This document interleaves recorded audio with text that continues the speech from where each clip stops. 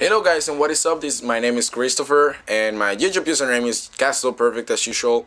I am bringing you a Call of Duty Black Ops gameplay this time. It's on Villa and I had a great time doing this one because I am using the classified submachine gun uh, which is called the Kiparis. Well, I don't know if it's if I'm pronouncing it the right way, but unfortunately for me, my English is not all that great and you guys know that. I am Dominican and I've learned how to speak English through watching videos on YouTube. So don't expect as much as uh, what you can expect from my uh, English person. You know, like from British, British person or something. I don't know. But anyways, I would like to talk about uh, you know the people that I was playing with in this game. I was playing with uh, I think a full full uh, friends list, if you could call it like that. I mean, I was playing with six people, and I think that's the max that you can have on a team deathmatch um, game, and uh, I was having a lot of fun. And lately, I've been playing with uh, a few game, a few guys. I will just definitely uh, post their names or their gamer tags in the description.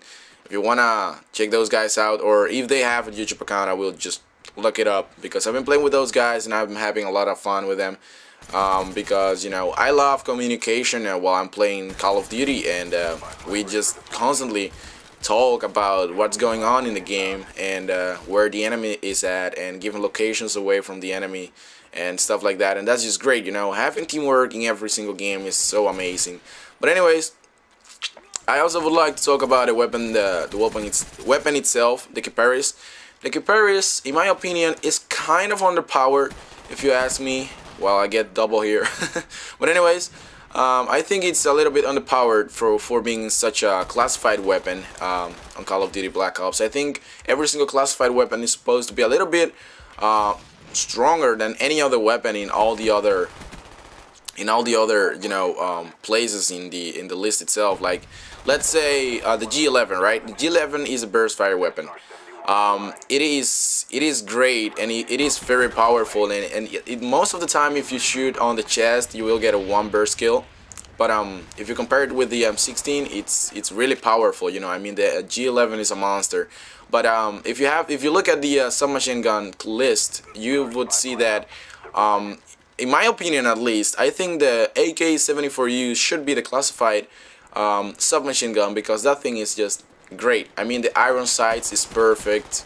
The fire fire rate is amazing, and everything is great about that weapon. And it's even more dangerous when you put um, grip or rapid fire on it, or if you warlord the the weapon and get a grip and rapid fire on it, will just obliterate the red the entire team. As long as you know when to aim down the sight quick, because you don't have sleight of hand pro, right?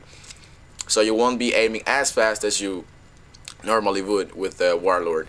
But um, with that aside, I think um, the Kiparis, you know, the accuracy is great, the fire rate is great, but the clip size, that's what turns me down. I mean, um, a classified weapon is supposed to have a little bit more bullets in the, in the clip um, as, you know, for the other weapons. I mean, um, this weapon is lacking a few things. One is the size of the clip. It's it's too short. I mean, it's too small. It's not. It's not. So look at me. Look at me. I'm just reloading after every single kill, and that's not supposed to be like that. I should at least be able to kill uh, three people without having to reload again.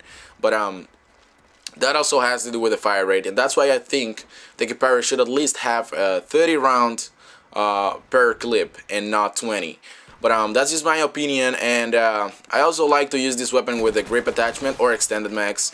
I tend to use it um, when I start uh, playing with this weapon. I used it with a silencer, but now I'm using it with a grip attachment because I don't know. I just I don't know. I like grip. I, the, the, attachment itself is just something that I like on every single submachine gun, and uh, it, that increases the accuracy so much.